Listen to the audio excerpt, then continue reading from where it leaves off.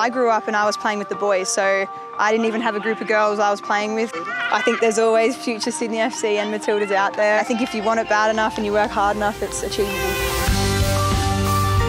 So I coach the under 11s uh, Leopards from Balmain. Here training with Cortnee Vine, one of the girls in the team, uh, won a competition a little while ago to, to have a training session with her, and here we are. Who's your favourite Matilda player? My favourite one, my favourite one to play with. Yeah. That's a hard question, actually. I like playing with all of them. The girls are great. They're they're loving it. They're asking a lot of questions. Um, I find it very easy to speak to, to girls this age, and they just want to know about you. Just not not even about the football, just about you. That's pretty cool. I think for young players um, in the A Leagues and also in the national team, uh, this exposure at a community level really, really helps to grow the game. When we all started running over, I'm like, oh my god, it's Cortnee Vine.